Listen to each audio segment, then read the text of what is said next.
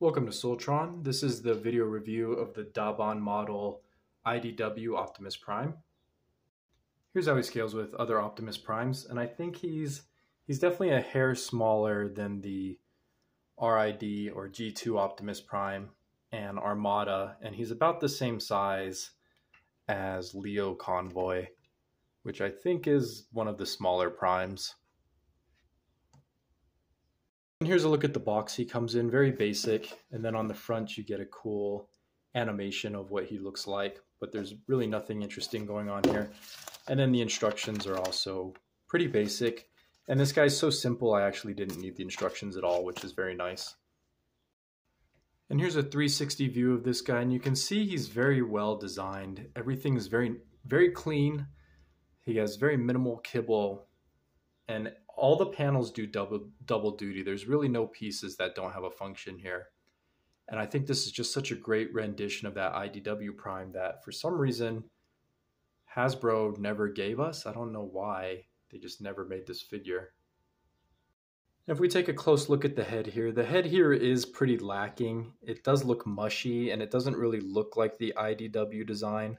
It just looks more like a G1 Prime with some slightly elongated features it's not quite right, and the eyes are very dead. It has light piping, but it's it's such dark plastic that the light piping just does not work at all. It's very pointless.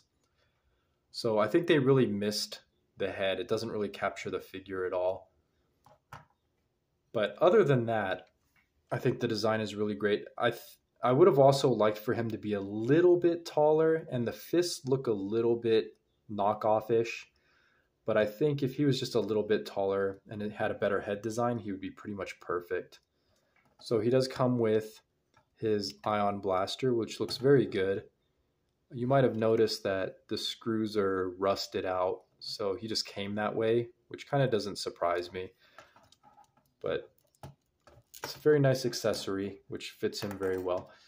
And then as far as his articulation goes, he does have a ball joint neck, so with a lot of good expression. He does have 360 on the shoulders. He does have a full outward range on the shoulder. You just have to get it, his bicep into that area. Well, maybe it's not. Yeah, there you go. You get a full outward range on the shoulder. You can pivot these armor pieces so they're behind the shoulder, which gives him a slightly cleaner look. Um, I think the forearm armor is supposed to look like this, but the directions say like this.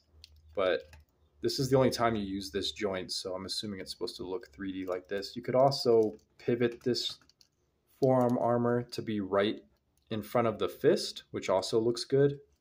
So I'm kind of torn on which way looks better, but this blocks the fist a little bit. He does not have wrist articulation. He just has like a little bit of motion for the transformation. He doesn't have a waist technically you can kind of cheat a waist if you don't peg him in all the way. You can give him a waist where he can rotate and he can also get an ab crunch, but it doesn't really look good and it doesn't really add anything to him, so I prefer to just peg him in. You get a full forward kick here on a spring ratchet and then a full backward kick. Maybe this is just a friction ratchet. And then he does have a full outward kick and then he does have 90 degrees in the knee, a thigh swivel, and he does have ankle tilts. So he has all the modern articulation you could ask for, except for wrist articulation and a dedicated waist. But otherwise, yeah, his articulation is great. You can get some really good posing out of him without too much difficulty. So yeah, he's pretty easy to pick up and pose. He doesn't work against you at all, so that's nice. So Transformation is also very simple in this guy, which I appreciate. So you're just going to use the double hinge in his forearm armor and you can that'll let you swivel in his fists and then you're just going to close it up and put it in the back position so as far back as this forearm armor will go that's the default and then you're going to rotate his bicep so that you have a notch that matches up with this shoulder. And then you rotate the shoulder armor. And that's going to come across here. And then you got pretty much the whole section for the cab. And then you just pull out his shoulders and get those ready. So those are ready to go. And then we're going to go ahead and open up his chest. And then you he telescopes in two places. He telescopes at the waist here, and then he's also going to telescope at the the chest. And then that will let you fold in this middle chest section, and then his whole head can just go inside of his chest at this point. Sort of. Okay, actually, I'm going to do that in a second. Wait, I think you need to actually move this section down first. So we're just going to go ahead and get his legs out of the way. And then this kind of has a diagonal slide to it. It's kind of awkward. But you can get this shoved all the way down as far as it'll go. It takes some force. And then there's a little tab here that will let you click the wheels into place. Um, some of the tolerances on this guy are a little bit scary. You have to click some things pretty hard. And then you can get, now that that's all out of the way, you can shove his head down pretty easily, I think.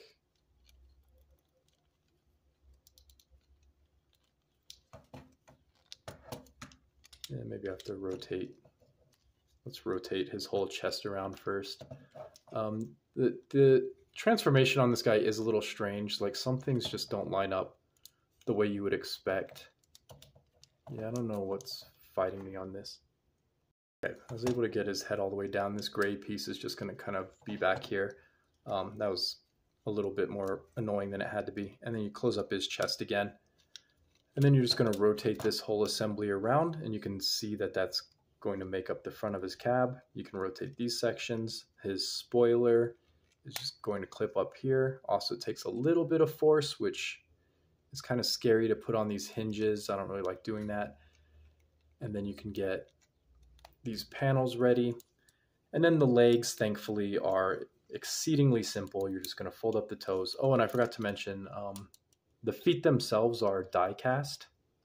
At least the toes are. I think the rest of this foot is also die cast. Yeah, uh, I have to test it on my teeth, but yes, all, his entire foot is die cast. And then you're going to sandwich those together on this tab.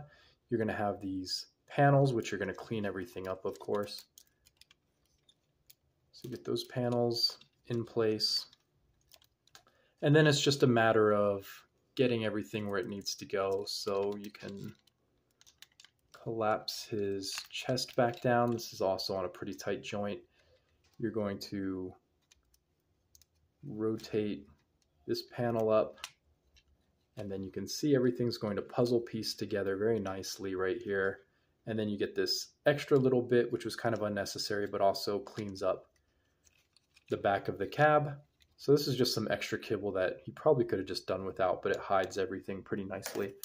And then you can take the gun and these are going to friction right into that slot there. You've got a tab right there which is in the back of his forearms, it looks like. And then you just basically work on getting everything tabbed into place. Some of these tabs are a little bit too long, so it makes it a little hard to get them where they need to be. And this is the kind of plastic, this is not the flexing kind of plastic. This is actually hard, like old school plastic. So this guy doesn't like to flex at all. So you gotta be pretty careful about how you get everything in place. And there you go. Now that he's all nice and cleaned up, you get a pretty good vehicle mode. The cab is exceptionally long, but I think it's worth it for what you get. And everything does tab very nicely into place. He looks pretty excellent. He's a small vehicle for sure. He's definitely would not be in scale with a deluxe size car. But yeah, I like this figure a lot. Um, he was $15 on AliExpress, which is such a great deal for this figure. Really well worth it. I highly recommend it.